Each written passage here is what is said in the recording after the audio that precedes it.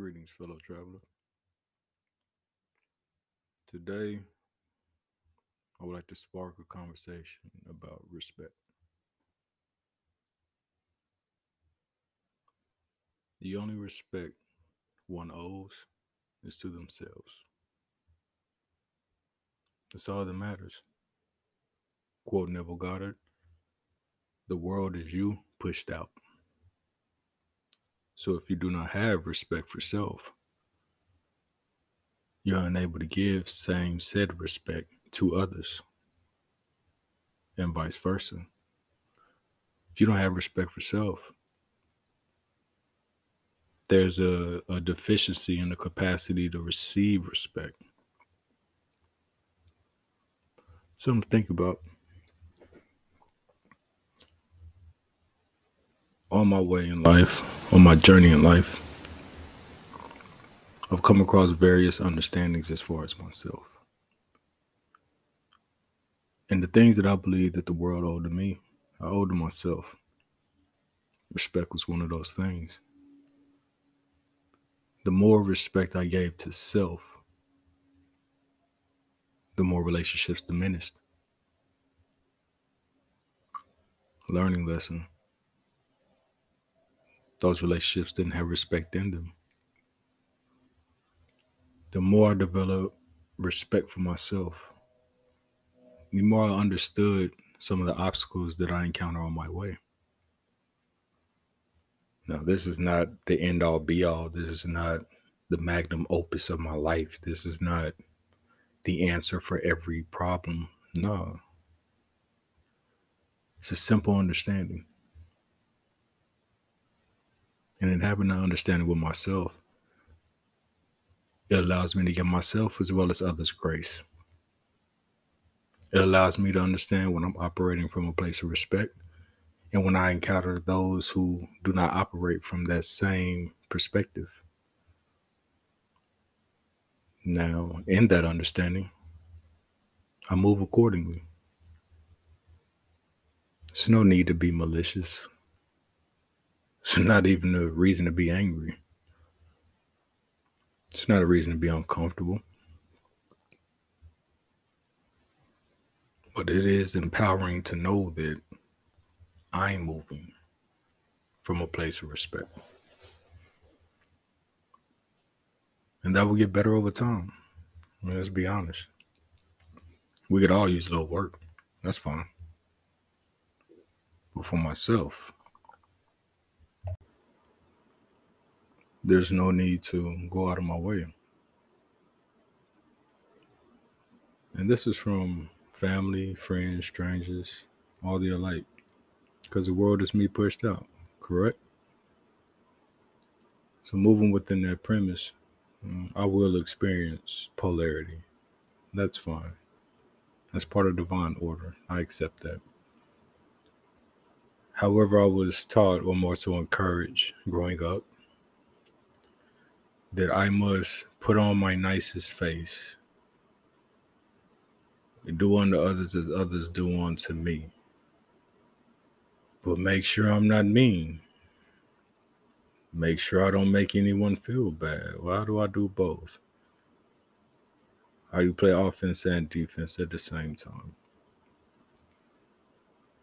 So I began to learn more about myself and I changed my approach move respectfully. And for those who are not able to receive it, okay. It's more telling of them than me. See, I was of the mind, uh, and in various instances in my life reflected this back to me as well. I was of the mind that as long as you treat people nicely or appear to be nice, that they would treat you the same way in kind. Like couldn't be further from the truth. You see, I thought if I walked into a, a, a place of business or into a certain environment and people respond to me a certain way, I used to think that I was wrong. I used to beat myself up. I used to say, man, why did you do that? Or why didn't you do? No. Prime example. Last week, I go into UPS. My daughters are with me. I'm stoic because I'm in their own business. I'm not in there to play around. I'm not in there to small talk. No, I need to get this information that I have with me on this document notarized. I want to send it off as fast as possible. And I'm going to go about my day. Go with my daughter to the park. I walk in. Me and a couple of the employees uh, meet eyes. I move about. I'm not going to throw in a smile to break up the awkwardness. I'm not going to act nervous. No, I move about. Go get in line. I get in line. The person I locked eyes with, one of them, is at the register. I'm calm, just peaceful. Here about my business. This individual wouldn't even look me in the eyes. He just spoke to me. Uh, he pointed me over to a station, but he wouldn't look me in the eyes. Like I don't want to say the individual was intimidated, but he seemed uncomfortable. And in doing that, it was as if he wouldn't acknowledge me. Okay. The old me would have been very offended by it. But nowadays, I understand I'm here on business. I'm not here to be friendly. I'm not here to be mean. I'm here on business. He pointed me to my direction. Thank you, sir. Went on over. The next employee, he made some slick remarks uh, directed towards me. Very, uh, I'll say, indirectly about me. I say it that way. Another individual won't look me in my eyes. Uh, had a very dense uh, energy about himself. All right. Thank you for your service. Run me up. Okay, have a good day, sir. Left. I bring up this situation because growing up, I would leave feeling so bad that I didn't make anybody smile. I would feel so bad that there was a moment of discomfort. I would beat myself up for somebody else's actions or response to me. And it's very telling of how I grew to understand myself more because I was taking on other people's issues and problems. That's not healthy. I don't recommend it for anybody. I really don't. See, me presenting myself a certain way, being focused on the business and not on the satisfaction of others, many times it's perceived a certain way. And I understand that. Before I didn't, I really didn't get it. But I truly understand it more now. I don't have it all figured out again, but I get it. When you have a certain disposition, I'm not in there like I own the place. I'm strictly about my business.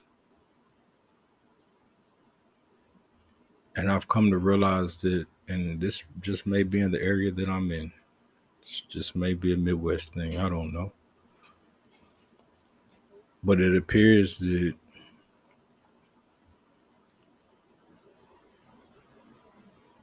people would rather have a surface level or uh, a very false type of interaction and feel seen than to not be seen at all. And I, I hope that makes sense. To me, it does. I hope it makes sense to you. It's simply understanding of I came here to do business. They're there to earn money. They're not there to make me the happiest customer. That's a cool incentive. But they're not there for me. They're there for themselves. I'm there for myself. We conduct business accordingly. We don't have to like each other, love each other. None of that. And that's okay. That's really okay.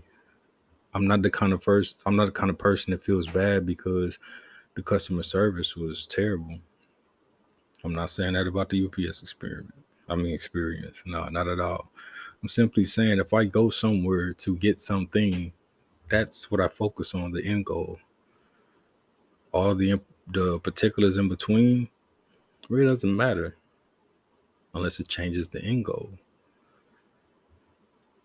And I mean, maybe that's a blind spot of my own.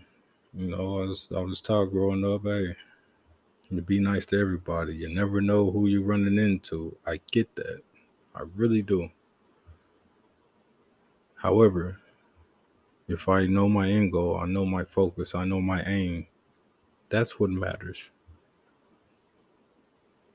And me focusing on that, it doesn't give me the right to treat anybody like shit along the way. I don't. Simply being focused can rub people the wrong way. I bring this back to respect. Having respect for the reason that I'm there and my personal goal, that matters more than going out of my way to receive a surface level appearance of respect from others.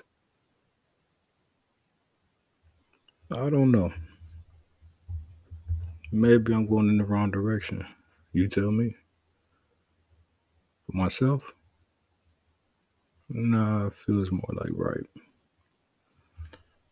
I would love to hear your insights. And being honest with you. Until the next time, be safe on your way, travelers.